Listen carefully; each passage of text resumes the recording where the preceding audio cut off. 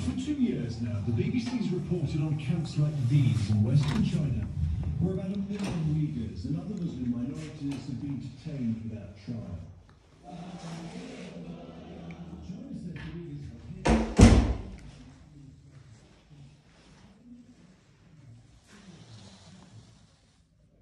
Across 137 pages, the spreadsheet sets out in huge detail why more than 300 Uyghurs from one particular in Xinjiang province